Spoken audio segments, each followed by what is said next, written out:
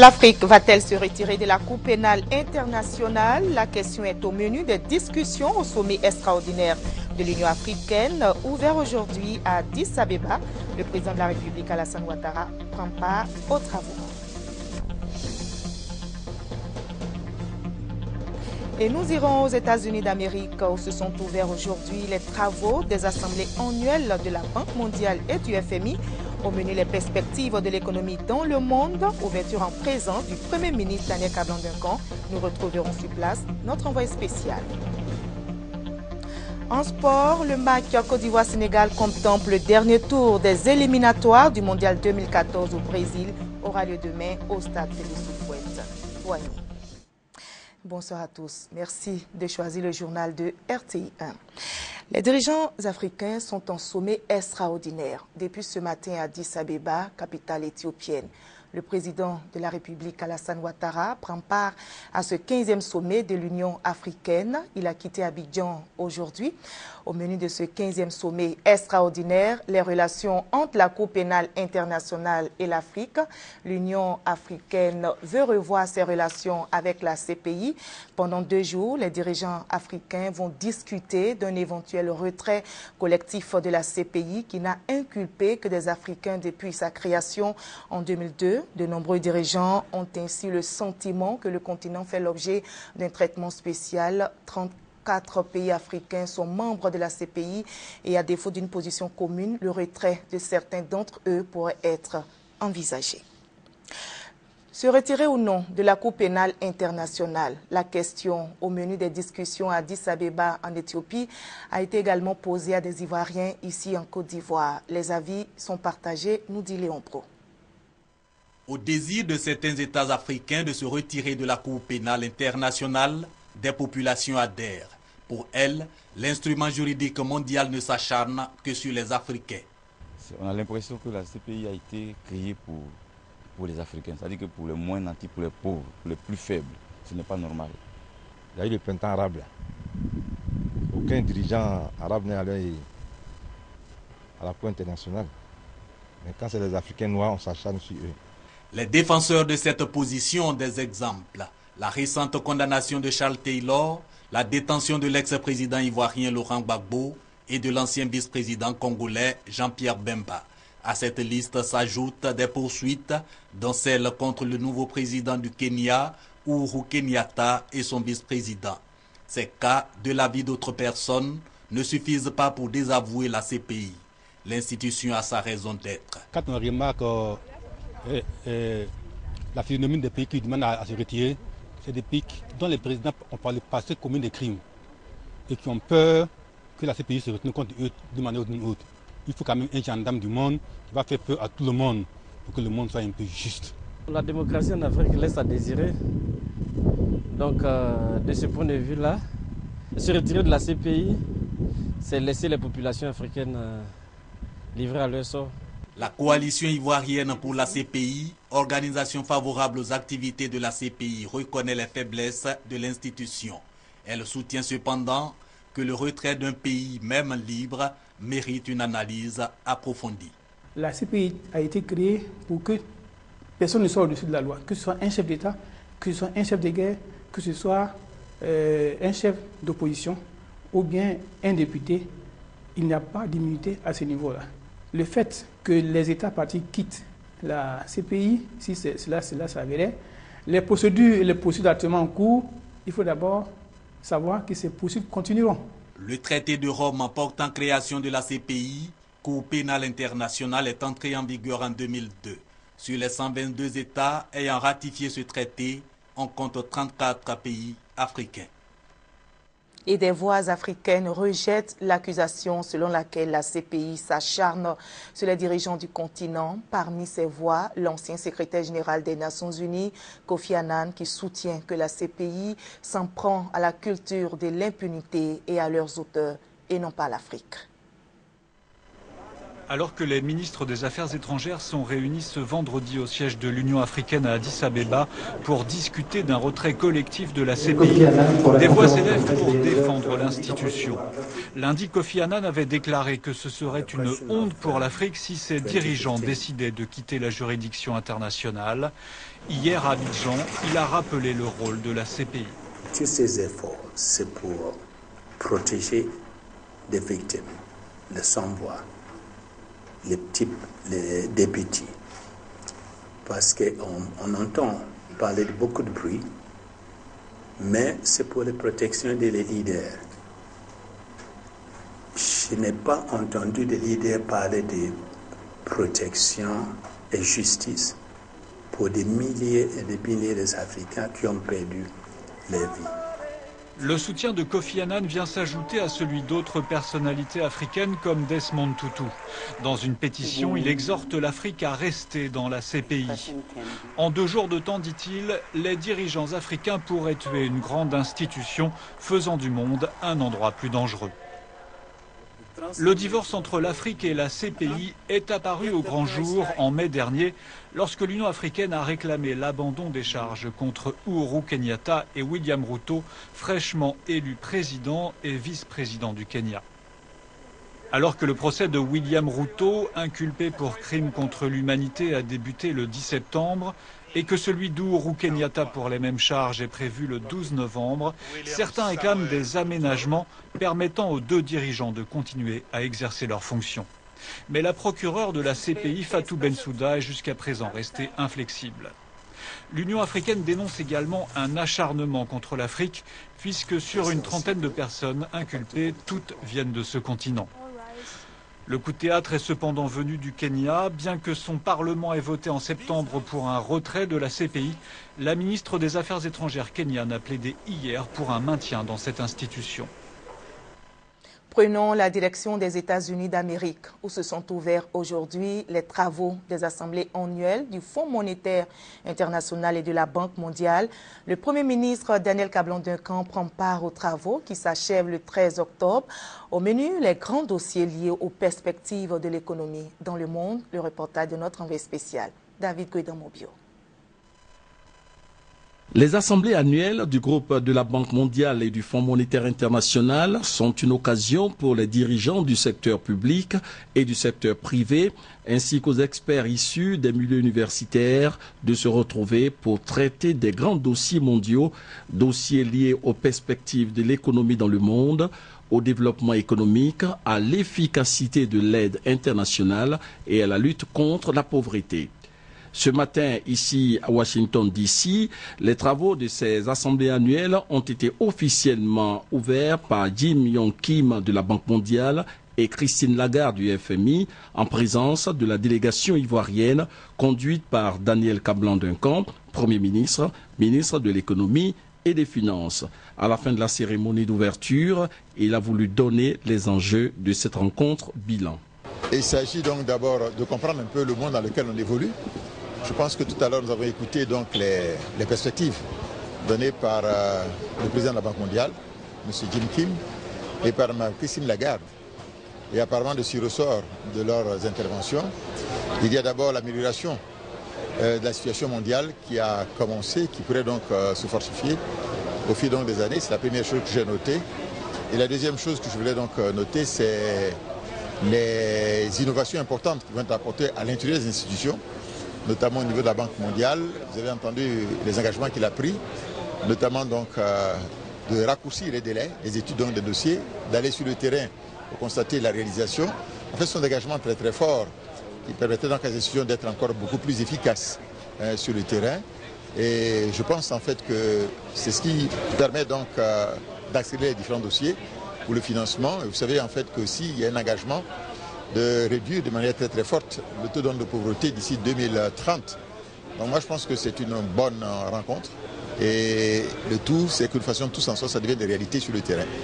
Pendant trois jours, ces délégations venues du monde entier vont, à travers séminaires, séances d'information régionales, conférences de presse et autres sessions consacrées à l'économie mondiale, faire un bilan du système financier international. Le Premier ministre Daniel Cablan-Duncan a mis à profit cette mission ici à Washington DC pour présenter aux partenaires au développement l'évolution de l'économie ivoirienne post-crise. Et nous avons en ligne euh, notre envoyé spécial, David Mobio. Bonsoir David. Euh, bonsoir Marie-Laure. Alors avant l'ouverture des travaux des assemblées annuelles du FMI et de la Banque mondiale, le Premier ministre a été reçu au département d'État américain chargé des affaires africaines. Alors dites-nous quels ont été les sujets examinés? Euh, oui, Marie-Laure, le Premier ministre a donc été reçu au département d'État américain par Mme Thomas Griffin Linda, qui est secrétaire d'État chargée des affaires africaines. Et plusieurs questions ont été évoquées. Au plan diplomatique, par exemple, Daniel Kabandeka a exprimé l'attention avec laquelle le gouvernement ivoirien suit la fermeture des services publics fédéraux américains en raison du blocage des discussions au Congrès sur le budget. Le Premier ministre a également souligné au secrétaire d'État américain chargé des affaires africaines la lourde responsabilité dont était investi le président Alassane Ouattara en sa qualité de président en exercice de la CDAO, lourde responsabilité en ce qui concerne la gestion des crises politiques, la lutte contre le terrorisme dans la sous-région.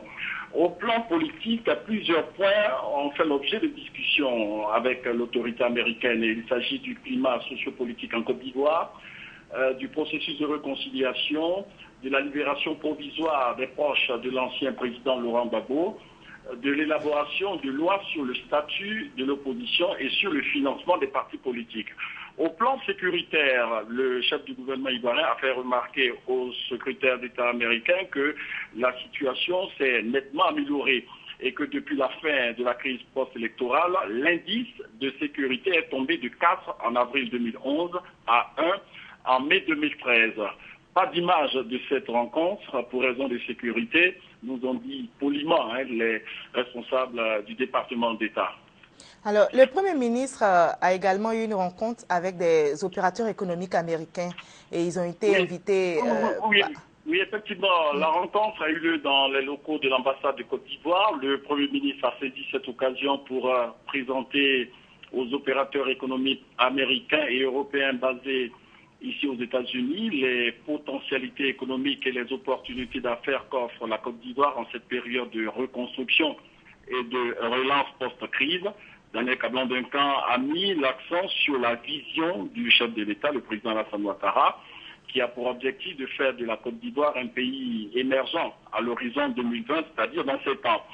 Il faut préciser, Marie-Laure, que cette rencontre organisée par la chancellerie ivoirienne cible de façon particulière hein, les opérateurs économiques américains qui ont depuis longtemps manifesté leur intention d'investir en Côte d'Ivoire et qui souhaitent saisir l'opportunité que leur offre le Forum Investir en Côte d'Ivoire pour réaliser leurs rêves. Merci David Mobio. Marie-Laure, si vous le permettez, Marie si vous le permettez, oui, allez-y, allez-y.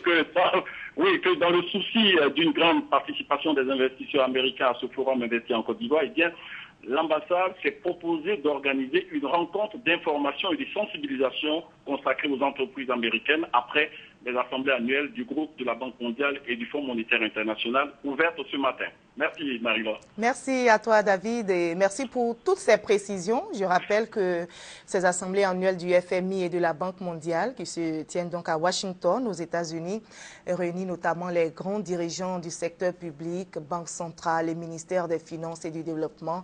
La rencontre s'achève le 13 octobre.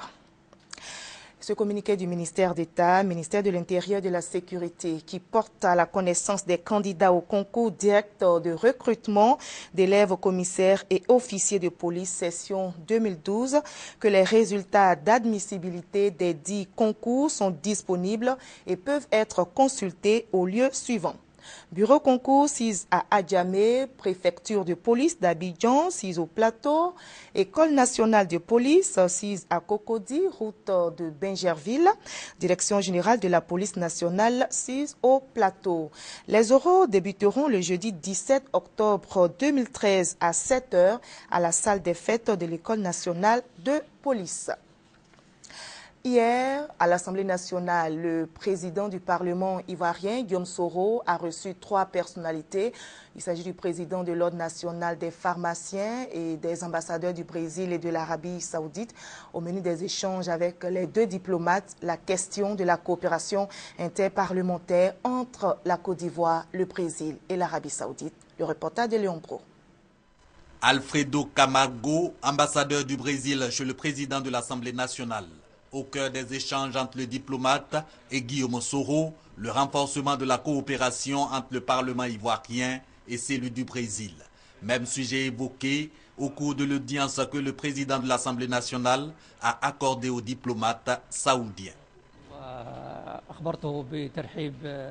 je lui ai informé du fait que le président de Shura en Arabie saoudite souhaite une visite de son Excellence en Arabie saoudite une date sera fixée pour la visite des parlementaires saoudiens en, Côte d'Ivoire comme aussi des euh, parlementaires ivoiriens en Arabie saoudite.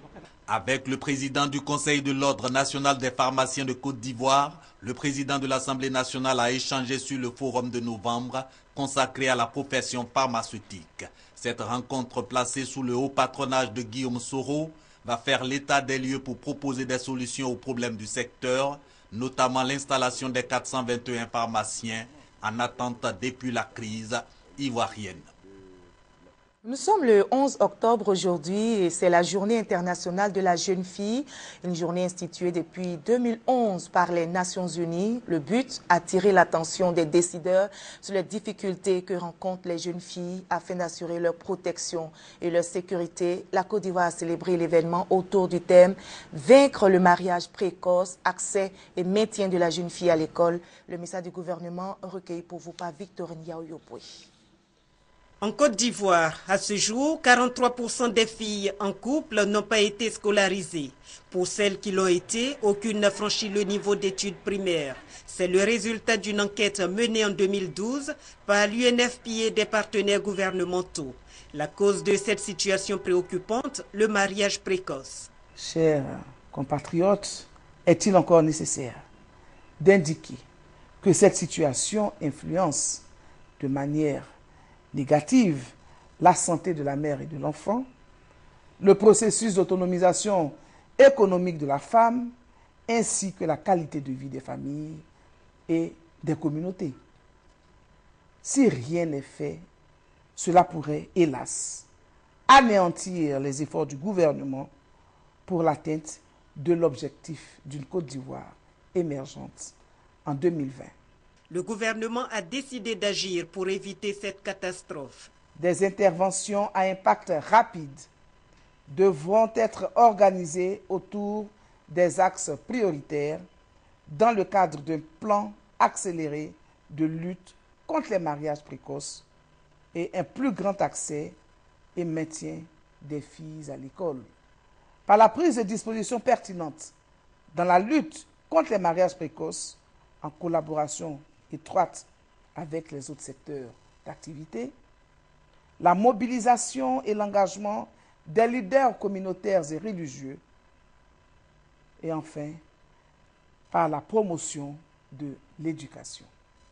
Ivoirienne, Ivoirien, c'est l'engagement de chacun et de tous qui garantira à la jeune fille l'éducation qui lui est due. En plus du mariage précoce, il faudra vaincre les mutilations génitales féminines et le travail domestique des filles. Seul moyen pour que les femmes, qui constituent la moitié de la population ivoirienne, prennent toute leur place dans le développement de la Côte d'Ivoire. Une autre journée, celle de la journée mondiale des soins palliatifs. Il s'agit de soins délivrés aux malades chroniques. La journée a été célébrée par le Programme national de prévention des maladies non transmissibles. On en parle avec Christelle Menant et Honoré Naïnkori. Améliorer la santé de fin de vie des patients souffrant de maladies chroniques, transmissibles ou non, telles que le VIH-Sida ou le cancer. Soulager la souffrance physique, psychologique et sociale à travers une prise en charge pluridisciplinaire du client et sa famille. Les soins palliatifs sont une composante essentielle des soins apportés aux malades chroniques et incurables et peuvent être administrés en hôpital ou à domicile. Une association de soins palliatifs de Côte d'Ivoire, ASPCI, a été créée en vue de mobiliser les acteurs de la santé à la pratique des soins palliatifs en Côte d'Ivoire. L'État de Côte d'Ivoire, avec l'appui de partenaires au développement, a produit en 2004 des documents de politique nationale, de formation et de guides en soins palliatifs. Une journée mondiale des soins palliatifs a été célébrée pour la deuxième fois en Côte d'Ivoire afin de sensibiliser les populations et les professionnels de la santé au développement des soins palliatifs et soins à domicile en Côte d'Ivoire. La journée mondiale de la santé mentale a été célébrée hier. Euh, thème de cette édition 2013, santé mentale et vieillissement. Occasion pour le ministère ivoirien de la Santé de sensibiliser les populations sur les moyens de favoriser un vieillissement en bonne santé. La journée a été célébrée à Bingerville en présence d'Alexis Ouetraogo. On l'appelle affectueusement Mamie. La cinquantaine révolue, Madame Conan est installée à Oufouétro, dans la commune de Cocody. Depuis quelques années, elle vend de l'attiqué et du poisson. En dépit de son âge avancé, pas question pour elle de rester les bras croisés. Le matin, quand on se lève au matin, on, tout, on se promène, ça c'est un sport. Tu viens tout fatigué, tu te reposes un peu, tu te laves, tu viens sur la rue pour vendre. Tu t'arrêtes pour servir les clients. Tout ça là, tu donnes ici, tu donnes ici, tout ça là, c'est du sport. Non loin d'elle, Brigitte, à la retraite, s'active pour son commerce. Puisque je ne travaille plus, au lieu de rester dormir, je vends la, la nourriture devant ma porte. Quand tu, tu dors, ton sang ne circule pas. Et là, tu accumules encore de la maladie sur toi. Si toutes deux ont encore du dynamisme à revendre, certains autres du même âge qu'elle n'en ont plus. Mentalement, si vous êtes chargé, ben, vous ne pourrez pas tenir. Une personne du troisième âge, c'est son souci, ça. Qu'est-ce que je vais laisser à madame? Qu'est-ce que je vais laisser aux enfants? Avant que je ne parte. Cette année, en Côte d'Ivoire, la journée mondiale de la santé s'est justement arrêtée sur cette classe d'âge qui représente près de 5% de la population. Selon l'OMS, la proportion des personnes âgées consultant pour des problèmes mentaux a connu une nette augmentation, passant de 7 à 9 La personne âgée est une personne qui euh, connaît beaucoup de pertes il arrive que les enfants disent que je suis fatigué parce que papa est devenu difficile, maman est devenue difficile. Il faut qu'on leur explique que ce sont les spécificités liées à l'âge. Selon les experts, la bonne gestion du vieillissement est l'affaire de tous et commence par la prise d'habitudes saines de vie. En premier, la gestion du poids. À cela, il faut ajouter une bonne alimentation riche en fruits, légumes et céréales à gras, des activités physiques, la prévention des problèmes héréditaires et la gestion du stress. Le quatrième salon international des médias, de la communication et des TIC, ouvert mercredi sous le signe de l'intégration, vient de fermer ses portes. Les ministres ivoiriens et burkinabés de la communication ont pris part à ce salon. Rapport, médias, entreprises, outils pour booster la croissance était le thème central de ce salon. Honoré Nangori. Le quatrième salon des médias et des TIC qui s'est déroulé à la Maison de la Presse durant trois jours a tenu toutes ses promesses. Avec pour thème gouvernance électronique et modernisation de l'État, l'objectif du salon était de mobiliser les entreprises autour des médias pour une autre vision des rapports médias-entreprises. Nous avons beaucoup appris et nous nous sommes fait connaître aussi par rapport à notre produit. Et donc pour nous, CNTG, ça a été une tribune pour montrer notre savoir-faire. Nous sommes satisfaits de la présence massive des populations au cours de ce salon. Satisfait également pour le directeur général de la Maison de la Presse, organisateur de ce salon. Je veux que désormais les journalistes puissent comprendre qu'il ne sert à rien de se mettre à côté des entreprises ou de se mettre de l'autre côté pour pouvoir accélérer les entreprises. Il faut que les journalistes partent vers les entreprises. La ministre de la Communication, Afoussiata Bamba Lamine, se réjouit des journalistes qui ont fait montre d'un savoir-faire professionnel. Cette interpénétration entre les médias, la communication et les entreprises doit nous permettre justement de toujours euh, rechercher le beau, le professionnel, toujours rechercher euh, l'absolu, rendre l'information vraie, rendre une information fiable, une information juste pour le bien de nos populations. Ce quatrième salon des médias visait entre autres aspirations d'engager les populations à croire aux médias et à leurs actions. Fin de la grève dans l'enseignement préscolaire. Les éducateurs ont repris le travail après quatre jours de grève. L'information a été donnée hier par la ministre de la Solidarité, de la Famille, de la Femme et de l'Enfant, Anne-Désirée Oloto, Victoria Yoboué pour le témoignage. La rentrée des tout-petits dans les centres de protection de la petite enfance aura finalement lieu le lundi 14 octobre. Prévue pour se dérouler le 7 octobre, elle a été empêchée par une grève des enseignants du préscolaire.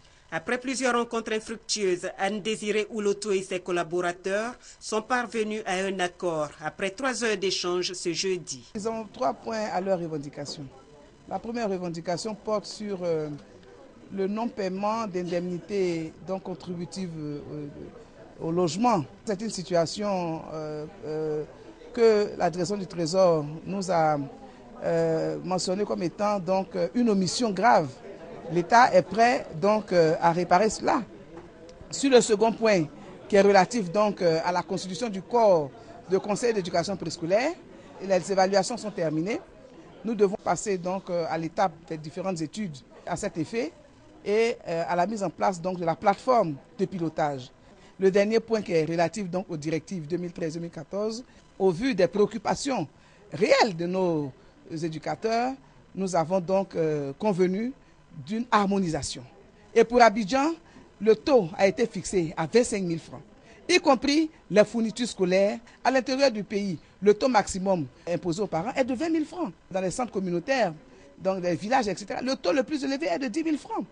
Quant aux grévistes, ils repartent rassurés. Nous saluons la médiation qui est en train de se faire avec les syndicats pour que vraiment ce verrou-là soit levé complètement.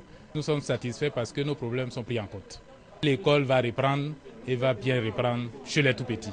Ces échanges auront permis de comprendre que les centres de protection de la petite enfance, les complexes et les centres d'action communautaire pour l'enfance rattachés au ministère de la Solidarité, de la Famille, de la Femme et de l'Enfant, sont différents des jardins d'enfants du ministère de l'Éducation nationale. Ces centres, selon Anne Désiro Ouloto, ont une vocation purement sociale, ce qui veut dire qu'ils ont été créés pour les enfants issus des familles démunies.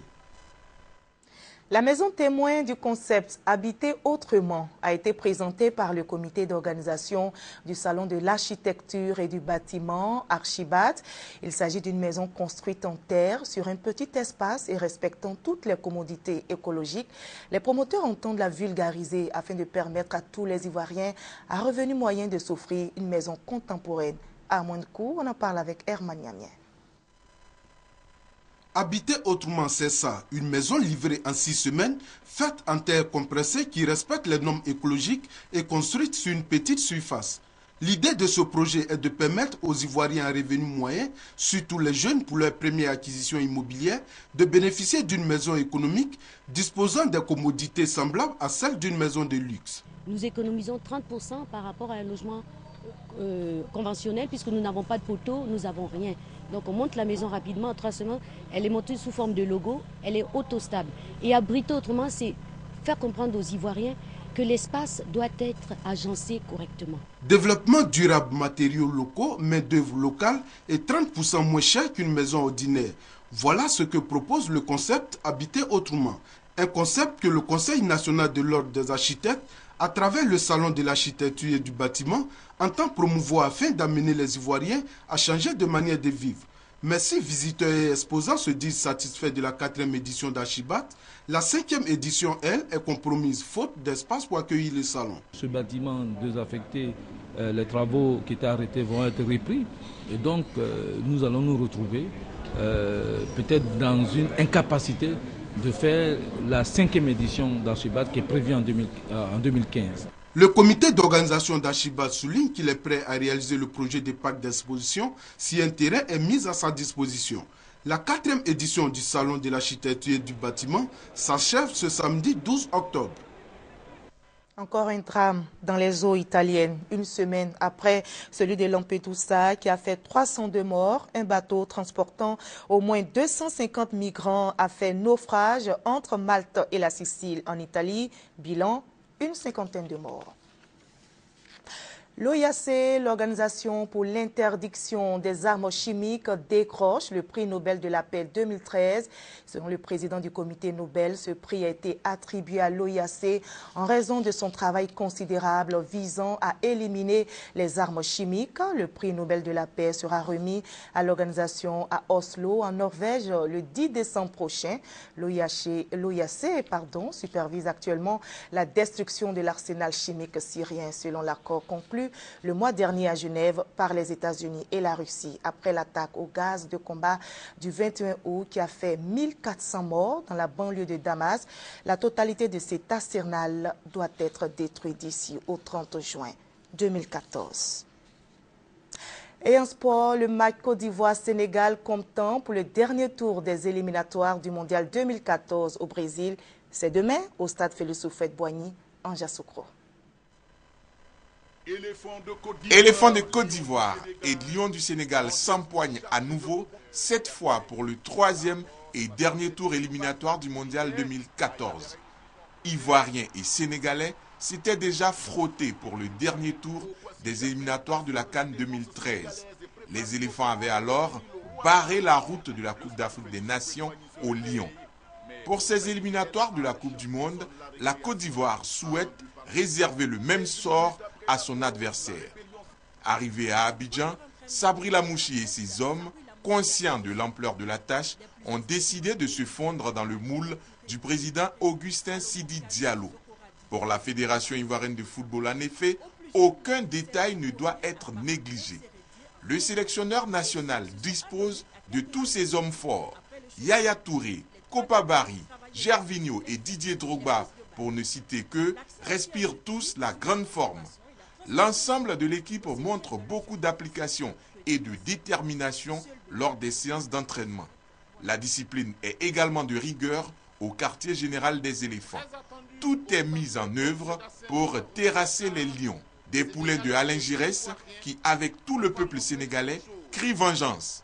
Alain Giresse y est déjà allé de ses petites piques pour tenter de déstabiliser les éléphants et surmotiver les lions. Dans leur rang, des joueurs aguerris, prêts à empêcher la Côte d'Ivoire d'accéder à son troisième mondial consécutif. Papi Sissé, de retour en sélection, conduira le chemin des Sadio Mané, Idrissa Ganagay, Mohamed Diamé, Moussasso et autres, Henri Cévé. Du beau monde donc. Le public aura dès lors un rôle important à jouer lors de cette manche allée à Abidjan. Il devra supporter, supporter comme il ne l'a jamais fait, pousser, pousser les éléphants à la victoire. Une large victoire, pourquoi pas. Le tout dans le fair play, la sportivité et la fraternité. Et le ministère d'État, ministère de l'Emploi, des Affaires sociales et de la formation professionnelle communique le mardi 15 octobre 2013, fête de la Tabaski est déclarée jour férié et chômé sur toute l'étendue du territoire national. Merci à vous tous.